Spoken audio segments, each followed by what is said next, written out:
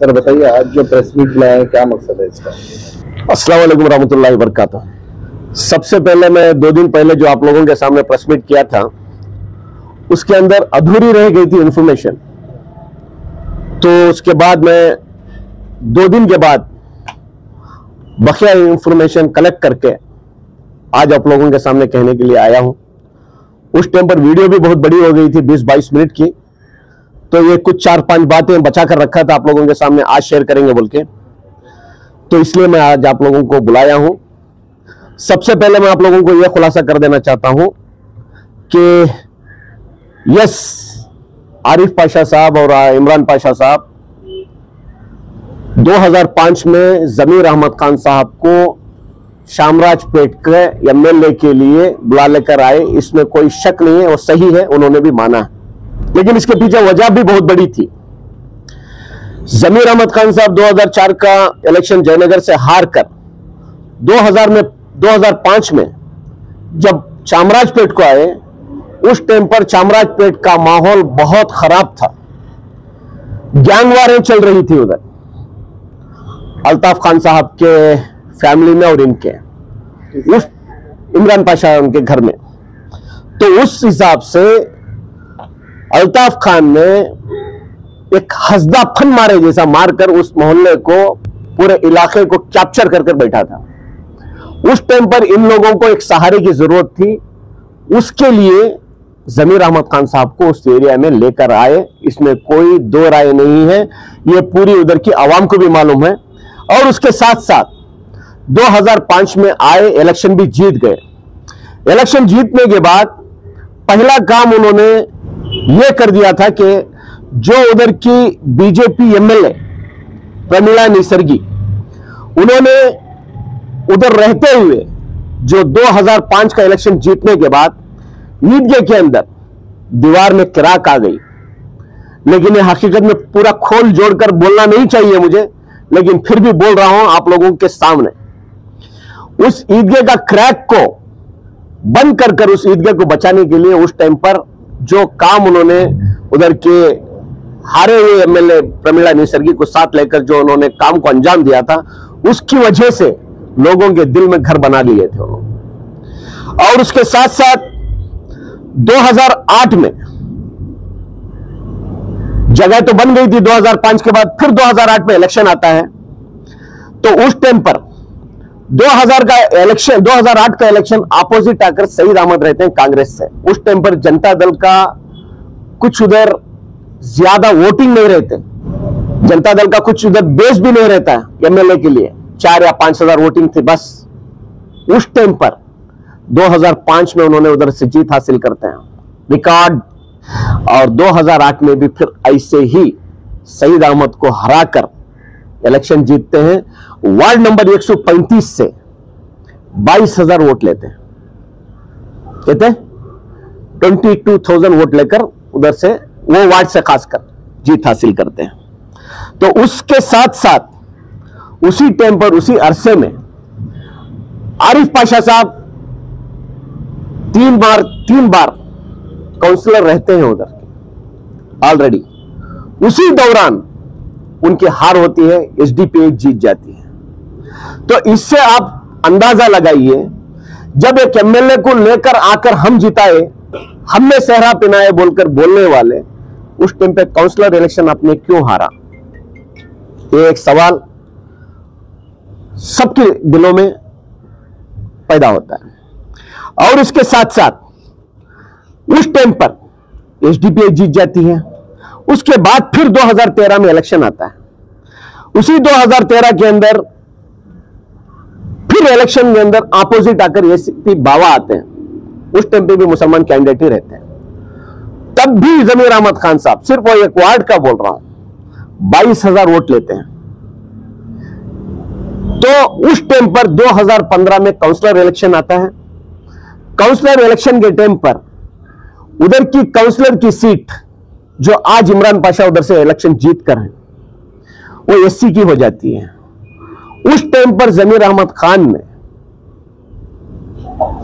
नहीं, ये मेरा बच्चा है, इसको मुझे कैसे भी जिता कर लेके आना है काउंसलिंग में बोलकर। आज भी गवाह है रामलिंग रेड्डी साहब और सिद्धरामैया साहब। कांग्रेस की गवर्नमेंट होने के बावजूद उनके साथ क्या तरीके का इनका कमिटमेंट था और इनकी जबान की क्या उनके दिलों में अहमियत थी, उसी टाइम पे उन्होंने साबित कर कर दिखा दिया। और ये एस सी की सीट को चेंज कर कर इमरान को जनरल बनाकर लेकर आके इलेक्शन में खड़ा कर, जीत कर लेकर आए, जिता कर लेकर आए। इसको बोलते हैं कुछ कर कर लेकर आए बोलकर। तो उस टाइम पर, उसी वार्ड के अंदर इमरान पाशा ने सिर्फ़ आठ हज़ार वोट लेते हैं। तो बखिया इन्होंने, इनके एरिया में इन्होंने हमने सेहरा पिनाया बोलकर बोलते हैं ना तो बखिया सोलह हज़ार वोट कहाँ गए? तो उसी वजह से जमीर अहमद खान साहब ये बोलते हैं कि मुझे उधर की आवाम का एहसान है, मुझे उधर की आवाम ने जिताई है, मुझे उन अवामों का वोट मैं ये समझकर चलता हूँ, फरिश्तों ने आकर मुझे वोट दिया है बोलकर मैं ये समझता हूँ बोलकर उन्होंने बार बार डंके की चोट पर यह बोलते हैं तो मुझे उधर की आवाम का चामराजपेट हल्के का आवाम का एहसान है, लेकिन मुझे फलान जिताया फलान जिताया, मैं ये दो लोग जिताए बोलेंगे तो मैं किस कीमत में नहीं मानता बोलकर बोलने का, उनका हक भी ये सही है। इसके अंदर एस सी की सीट को इमरान पाशा की कैंसिल कराकर, जनरल बनाने, बनाकर लेकर आने में जमीर अहमद खान साहब का इसमें कोई रोल नहीं है बोलकर इमरान पाशा ने कहीं उन्होंने इसका चैलेंज किया तो इंशाला संगम सर्कल के अंदर एक स्टेज डालो, मैं भी सामने आता हूँ, उनको भी सामने आकर डिबेट करने के लिए मैं तैयार हूँ। और उसके साथ साथ फिर 2018 आता है, कांग्रेस से एमएलए बनते हैं जमीर अहमद खान साहब। उस टाइम पर अल्ताफ बीके अल्ताफ खान जनता दल से आते हैं। उस टाइम पर वही वार्ड के अंदर फिर बाईस हज़ार वोट लेते हैं जमीर अहमद खान साहब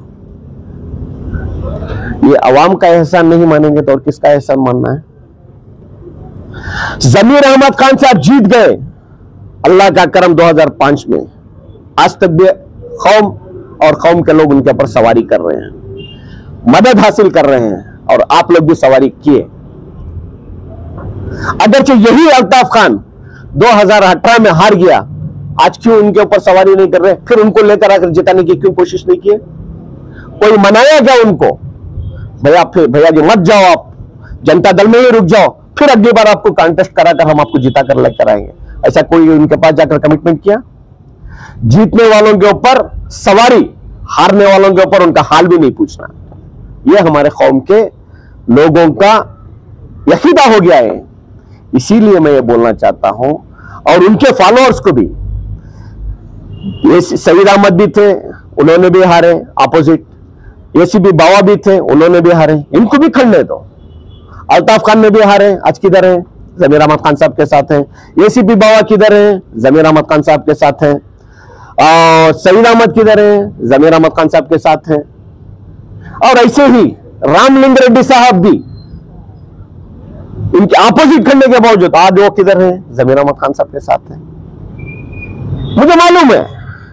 ये भी एक ना एक दिन इन्हीं के साथ रहेंगे। लेकिन इतना सब होने के बावजूद आज आप लोग उनके ऊपर इल्ज़ाम लगा रहे हो मुझे जबान दिए मुझे कमिटमेंट किए मुझे लोगों ला, लाकर जिताऊँगा बोले। उस मोहल्ले से तो नहीं बोले।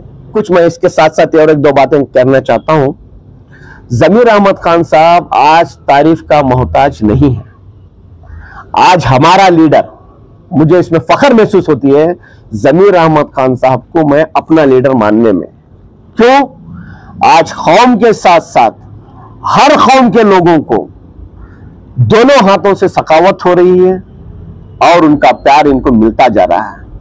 उसके लिए हमको उनका शुक्र अदा करना हो, करना है, बल्कि उनकी क्रिटिसाइज कर कर, उनको बदनाम करने की कोशिश इधर हमको करना नहीं है। सिर्फ़ एक बार काउंसलर बना है। एक ही बार। तो इतनी जल्दी इतनी बड़ी उड़ान ठीक नहीं है हमारे नज़रिए से। वक्त आएगा, वक्त का इंतज़ार करना है। उससे पहले आप इतनी बड़े बड़े स्टेटमेंट देकर माहौल को बिगाड़ने का अगर आप कोशिश करोगे, वो दिन दूर नहीं है, जो दौर से सईद अहमद खान साहब, अल्ताफ खान साहब, ये सीपी बावा जो गए उनकी लिस्ट में आपका भी नाम शामिल होने में उसका उससे देर नहीं लगती और इसके साथ साथ कुछ लोगों ने इनके फॉलोअर्स खासकर इमरान पाशा के फॉलोअर्स मेरे पेज पर आकर उतने गालियाँ देने के बावजूद मेरे पेज पर आकर आईएमए के पैसे दिलाओ बोल रहे हैं। यकीनन हंड्रेड परसेंट मैं दिलाऊँगा।